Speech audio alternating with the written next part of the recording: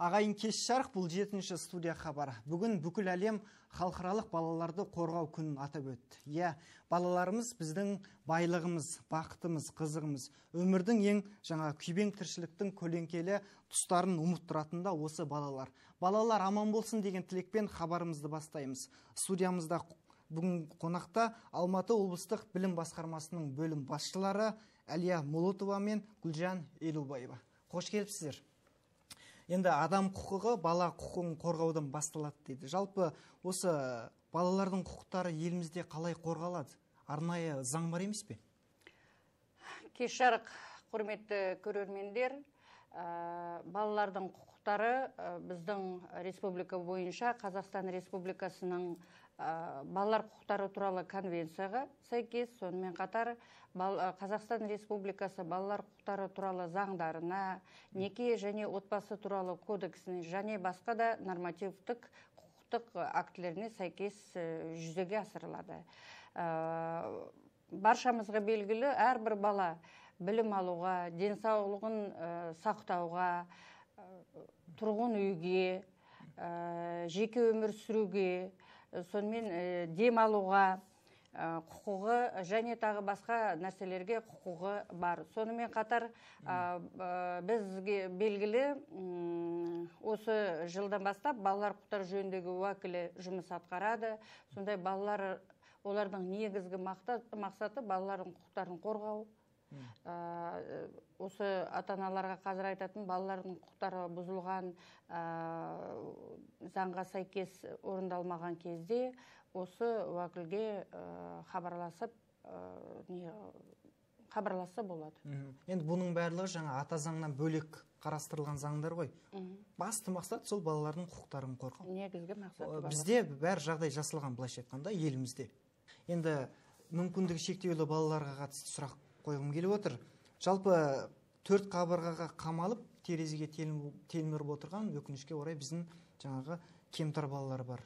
Енді солардың сапалы білім алуы ә, жалпы қаншалықты қамтамасыз етілген? Енді қымбатты қайырлы кеш ағайын. Бүгінгі сіздерді бірінші маусым халықаралық балалар күнімен құттықтаймыз. Дүниеде балаға бақыт сыйлағаннан басқа үлкен қуаныштан басқа байлық жоқ деп ойлаймын. Сол себепті қандай санаттағы бала болмасын оның тәрбие алуы мен білім алуына бүгінгі күнде мемлекетімізде барлық жағдай қарастырып жасалған. Ә, бізде енді мүмкіндігі шектеулі балаларымызды ә, өздерінің әріптесімен бірдей деңгейде білім алып өз әріптестерімен бірге демалуына жағдай жасауда бізде инклюзивті білім беру жүйесі енгізілген бүгінде ә, біздің алматы облысында инклюзивті білім беру жүйесі 2013 жылдан бастап енгізіле бастады. Қазіргі уақытта 208 мектепте инклюзивті білім беру енгізілген. Бұл 28 бүтін оннан екі пайызды құрайды жалпы мектеп санынан алғанда. Сонымен қатар бізде 29 арнаулы сыныптар бар. Бұл психологиялық дамуы тежелген балаларға арналған. Және де бізде жеті Э, арнаулы мектеп интернаттар бар. Ода тоғыз жүз жетпіс алты э, бала қамтылған. Сонымен қатар бізде нөлден бастап 18 жасқа дейінгі э, жасөспірімдерге психологиялық медициналық коррекциялық көмек және консультациялық көмек беру ретінде ата аналарға жеті коррекциялық 15 коррекциялық кабинеттер және жеті консультациялық пункттер жұмыс жасайды.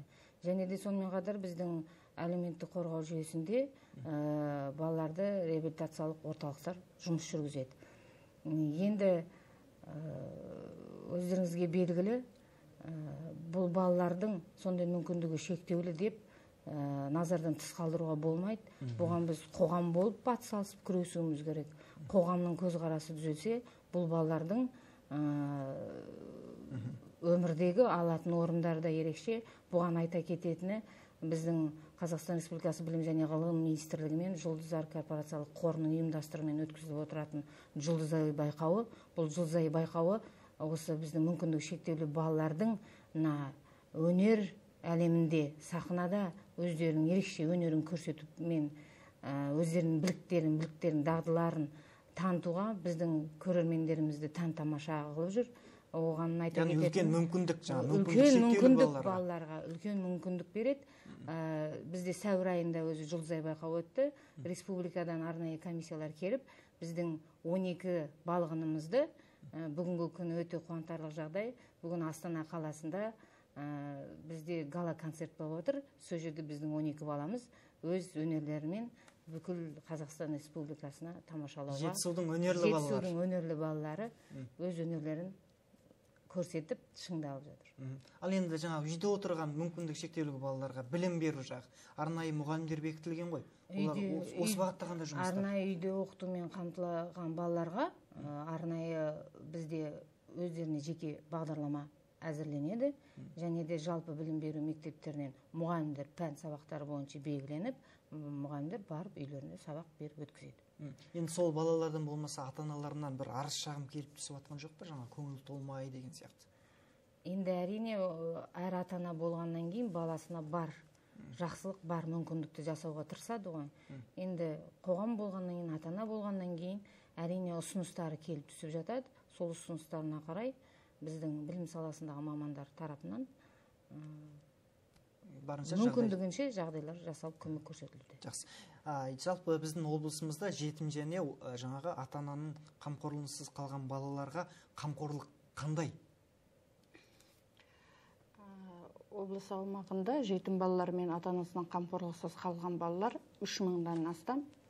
Осы ә, жетім балалардың 81 пайызы отбасылық тәр- тәр- ә, отбасылық отбасында тәрбиеленуде. Атап айтсақ қорғаншылық қамқоршылықта 2400 бала. Патронаттық тәрбиеде 73 бала. Сонымен қатар отбасы үлгісіндегі балалар үйінде э, 43 бала. 648 бала біздің жетім балалар мен ата анасынан қамқорлықсыз қалған балаларға арналған білім беру денсаулық сақтау және әлеуметтік қорғау мекемелерінде тәрбиеленуде. Осы балалардың негізгі құқықтарын қорғау мақсатында қазіргі жұмыста э, неке және отбасы туралы қазақстан республикасының кодексінде көрсетілген жетім балалар мен ата анасынан қамқорлықсыз қалған балалар негізгі мақсатымыз біз оларды отбасылық тәрбиеге орналастыруымыз керек. Ондай мүмкіншілік жоқ болғанда біз оларды ә, тиісті мекемелерге орналастыруымыз керек. Қазір мен айтқанымыз ә, сол заң бойынша 81 пайызы бізде отбасылық тәрбиеде 19 пайызы осы мекемелерде тәрбиеленуде. Ә, қазақстан республикасының президенті нұрсұлтан әбішұлы назарбаевтан қазіргі бізге қойған тапсырмасы бар. Осы санаттағы балаларды неге отбасылық тәрбиеге орналастыру жетім балалар мен ата анасынан қамқорлықсыз қалған балаларға арналған мекемелердегі тәрбиешілердің санын қысқарту. Сонымен қатар патронаттық тәрбиені дамыту отбасы үлгідегі балаларын ашу. Бұл бағытта қазір мен айтқан біз жұмыс жүргізіп жатырмыз. 2015 жылы облыстық бюджеттен тиісті қаражат бөлініп сонымен қазіргі кезде бізде патронаттық тәрбиеде ә, 73 бала сонымен қатар панфилов және қаратал ауданында екі отбасы үлгісіндегі балалар үйлері ашылды. Бұрын былтырғы жылы бізде 2000 ә, отбасы үлгісіндегі балалар төрт балалар үйі жұмыс атқарса қазіргі кезде алтау жұмыс атқарады. Осы ә, балалар үйлерінде ә, арнайы мемлекеттік балалар үйлерінің тәрбиеленушілері орналастырылған.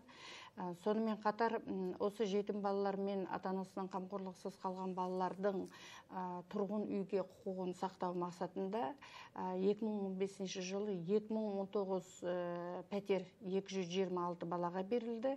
Осындай жұмыстар келешекте атқарылады. Жұмыстар жүргізіледі. Сонымен қатар ә, мемлекеттік органдар тарапынан бұл балалар ә, және қорғаншы патронаттық тәрбиешілер ә, тарапынан бұл балалар кезінде баспанаға кезекке қойылу керек. Жақсы. Енді жаңа айтып қалдыңыз ғой жаңағы отбасылық балалар үйлерін көбірек ашу керек деп. Енді ондағы мақсат жаңа балалар отбасының бір жылуын сезсін деген Да. мақсат қой. Енді балалар үйіне қарағанда ол әлдеқайда шаңырақтың астында өмір сүреді. Кәдімгі ол жерде ата анасы болады оған жаңа бауырлар сияқты бірге өседі. Енді осындай отбасылық үйлерді ашатынға жалпы азаматтар қаншалықты құлық танытып жатыр ашсақ деп ондай ниет танытып жатқан азаматтар бар ма? Көп пе? Екі мың екі мыңыншы жылы бізде облыс аумағында алты отбасы үлгідегі балалар үйі жұмыс атқарса одан кейін 15 жылға дейін біздің облысымызда ондай мекемелер ашылмаған. Осы 15 жылы қаражат бөлініп не қылғаннан кейін ә, білім басқармасы тарапынан сонымен жергілікті атқарушы органдар тарапынан ә, жұртшылық арасында тиісті жұмыстар жүргізіліп ақпарат берілді. Себебі бал, азаматтар білу керек ол қандай не балалар үйі қандай кезінде ашса болады? Сол бойынша барлық бойынша тиісті семинарларды өткіздік кездесулерді өткіздік. Ә, соның нәтижесінде былтыр екеуін ашсақ қазіргі кезде де ондай жұмыстар жүргізіліп жатыр. Қазір де ниет білдіріп жатқан азаматтар бар. Оларға біз кеңес бердік. Олар тарапынан ә, қазіргі кезде тиісті құжаттар жинақталып яғни мемлекет барынша қолдау көрсетеді жан жақтылы мемлекет жетім балалар мен ата анасынан қамқорлықсыз қалған бал, ә, азаматтарды да қолдау мақсатында жұмыстар жүргізіп жатыр. Ә, бізге қазір қорған бұрын заңда көрсетілмеген қорғаншылық қамқоршылыққа алған азаматтарға қаражат бөлінбейтін. Қазір сол балаларды асырап бағуына біз қаражат бөлеміз.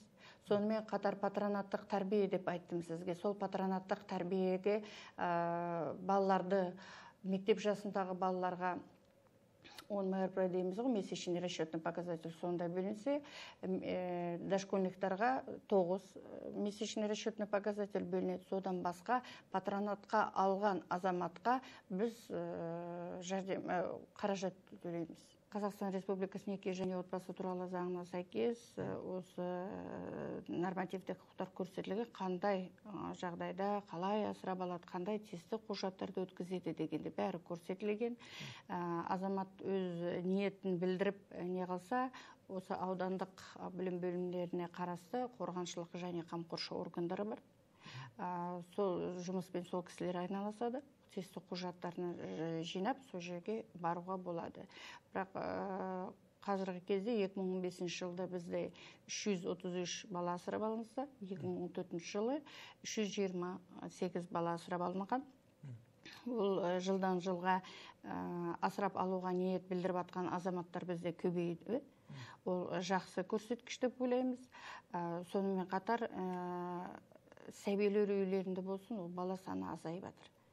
Былтыр 2014 жылдың желтоқсан айында облыс аумағындағы екі сәбилер үйі жабылынды.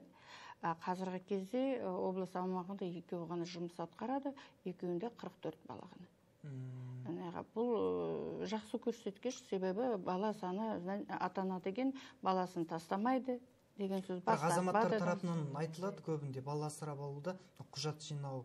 Жағы болсын өте қиындыққа ұшырайды ол құжаттар не үшін жиналады? Біз баланы отбасына бергеннен кейін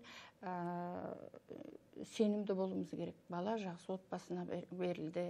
Ол кісі бұрын сотталмаған. Соның балаға күтіп бағуына бағуына тиісті қаражаты бар үйі бар деп оны білуіміз керек. Сол құжаттар сұранып жатыр.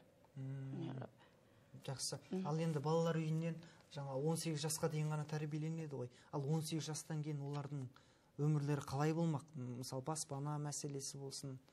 Балалар тоғызыншы немесе он бірінші сыныпта бітіргеннен кейін осы білім басқармасының қолдауымен балалар үйлерінің әкімшілігінің қолдауымен сонымен тиісті мекемелерге орналастырады колледждерге.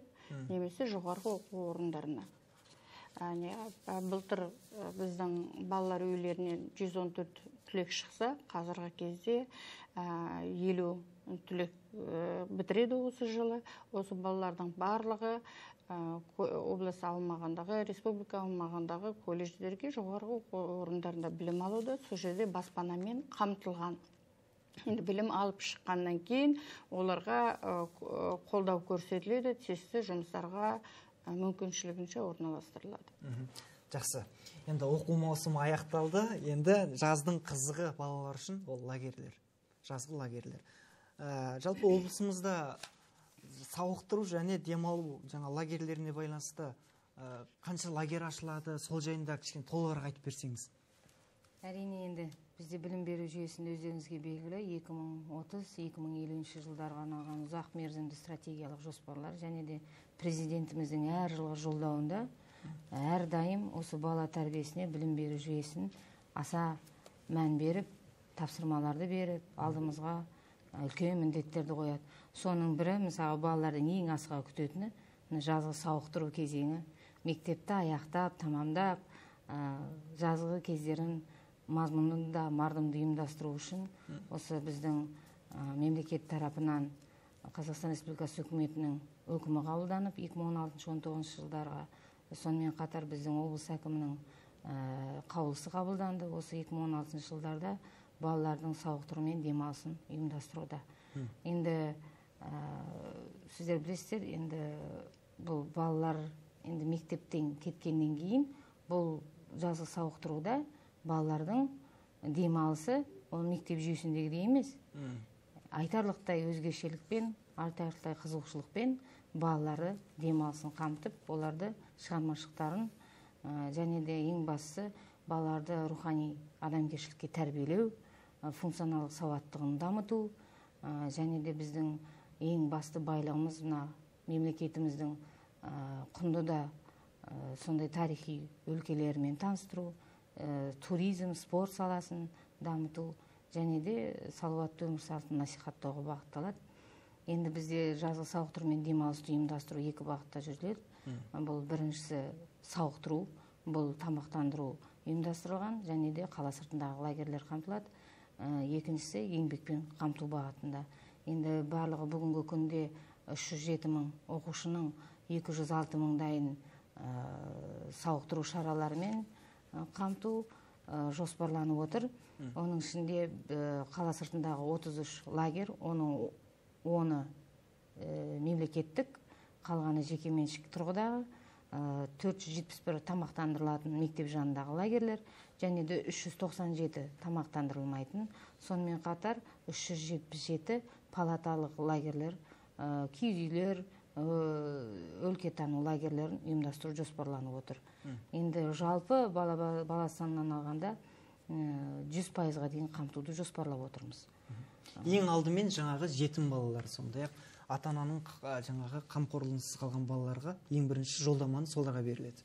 Дұрыс қой? Қамтылған. Әрине бізде өздеріңізге белгілі 2015 жылдан бастап бізде арнайы мемлекеттік қызмет көрсету стандарты қабылданған аз қамтылған отбасыларының балаларын мектеп жанындағы және қала сыртындағы лагерьмен қамту бағытында осы стандартқа сәйкес жұмыс жүргізіледі. Сонымен қатар өздеріңізге белгілі бұл қай сала болмасын аз қорғалған әлеуметтік жағынан аз қамтамасыз етілген балаларды бірінші кезекте осы балаларды қамтып осы балаларға барынша жағдай жасау.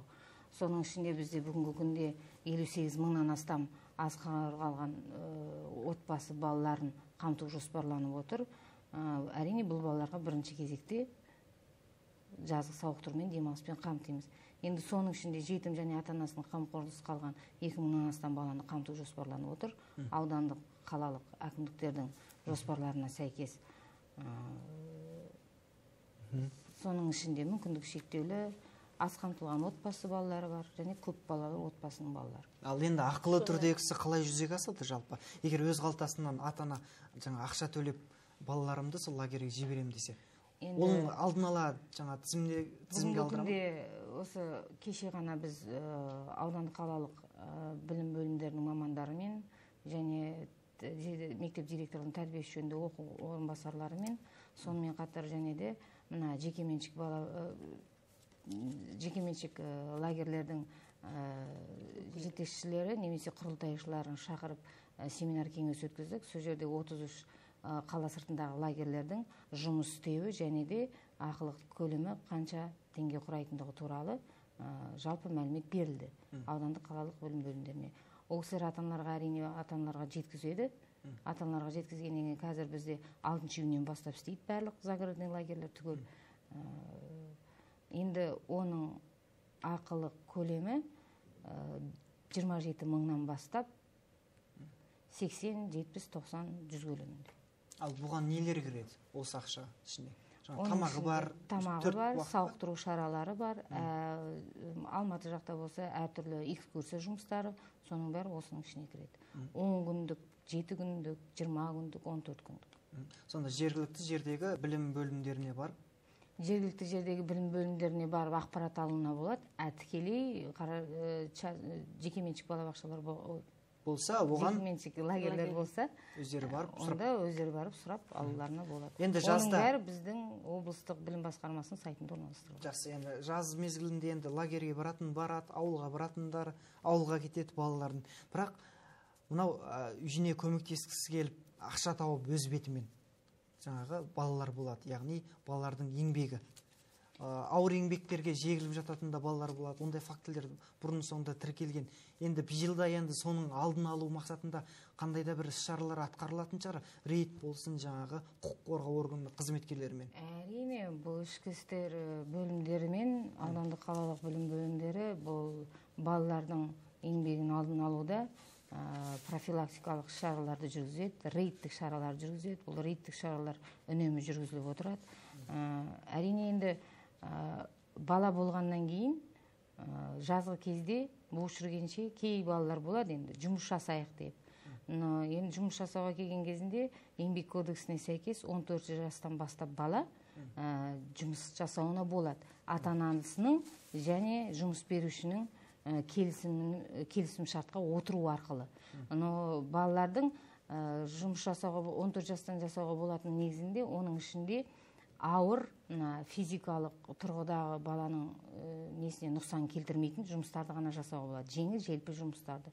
Оның ішінде мысалы кейде балалар болады ә, автомойкаларда барып жұмыс жасайды немесе газельдерде ашып кондуктор болып отырады. Бұның балалар балалардың қауіпсіздігіне өте әсер ететіндіктен бұл түрлермен айналысуға болмайды балалардың. 14 жасқа жастан 18 жасқа толмайынша ол балаларға айналысуға болмайды. Осыны ата аналардың басты назарында болса екен дейміз. Сонымен қатар енді бала болғаннан кейін кейде біздің жұмыс берушілеріміз баланың жұмысын ә, бағаламай осы мына келісімшарттарға отырмай жатады. Осыған жұмыс берушілер кішкене болса да баланың өміріне жауапкершілікпен қарап ата анасын шақыртып бала әрине өзі де барып сұрануына болады жұмысқа. Но алайда оның заңды өкілінің қатысуымен осы келісім шартты жасап арнайы баланың өзінің төлемақысы беріліп отырса екен сізге тағы бір сұрақ қойғым келіп тұр. Алматы облысында кәмелетке толмағандарға қатысты зорлық зомбылық жағдай қалай? Тіркелді ме осы жыл басынан бері? Дәл осындай. Әрине енді зорлық зомбылық дегеннен кәмелетке толмаған арасындағы балаларды жан түршіктірерлік жағдай өкінішке орай бұндай фактілер орын алып жатады. Ә, алайда ә, мүдделі ұйымдардың қатысуымен денсаулық саласы ішкі істер басқармасы білім саласы қатысуымен алдын алу шаралар жүргізілеріне қарамастан осындай ә, жағдайлар болып жатады. Ә, сонда соның ішінде айта кетерлік жас бүгінгі күнге дейін ә, осы жыныстық қатынаста болған зорлық зомбылық фактілері 49 факті тіркелген. Оның ішінде 29 факті 16 жасқа толмаған жасөспірімдерге келеді. Ә, бұл әрине өкінішті жағдай. Негізінен бұл жағдайлардың болу себебі ә, сәтсіз отбасылардың және қадағалаусыз қараусыз қалған отбасылардан шығып жатады. Әрине оның ішінде де болады әртүрлі жағдайлар. Ә, бұған енді тарапымыздан тек қана осы денсаулық ішкі істер білім саласы деп қана отырмай ә, жалпы менің өзім айтатыным қоғам болып бұған атсалысуымыз керек деп ойлаймын. Қандай да жағдай болмасын. Ә, әркім өзінің білгенін айтып жеткізіп балаларды ешқашан назардан тыс балаларды қалдырмау керек. назардан тыс еш уақытта қалдырмау керек деп ойлаймын. Жақсы енді хабарымыз аяқталуға жақын енді соңында ә, ел жұртқа айтар тілектеріңіз болса мархабат. Құрметті балалар бүгінгі мерекелеріңіз құтты болсын. Сіздерге тек қана жақсылық тілейміз. Денсаулықтарыңыз жақсы болып ауырмай ата аналарыңызды қуантып әрдайым қасымызда ә, жүре беріңіздер. Біздің ә, үлкен ата аналардың ә, байлығы осы сіздерсіздер. Осыны ұмытпаңыздар. Мерекелеріңіз құтты болсын. Енді бар болашағымызды жасайтын осы біздің жастарымыздың қолында ғой. Сол себепті айналайын балғындар осы жаз мезгілін мағынды да мазмұнды өткізіп ата аналарыңызға әрқашан қуанышқа бөлеп ана ата аналарыңызға айтатын бір жағдайым ойнап ойнап өсіп ән салмай өсер бала болар ма дейді ғой. Балаларымызға бар мүмкіндігінше жағдайын жасап бірақ балаларымыз ата ана алдындағы жауапкершілігін ұмытпай әрқашан бір бірін бақытқа бөлеп жүре берсін жақсы. Рахмет. Әңгімелеріңізге рахмет. Абыройларыңыз арта берсін. Бүгін бізде қонақта болған алматы облыстық білім басқармасының бөлім басшылары әлия молотова мен гүлжан елубаева. Аман сау болыңыздар.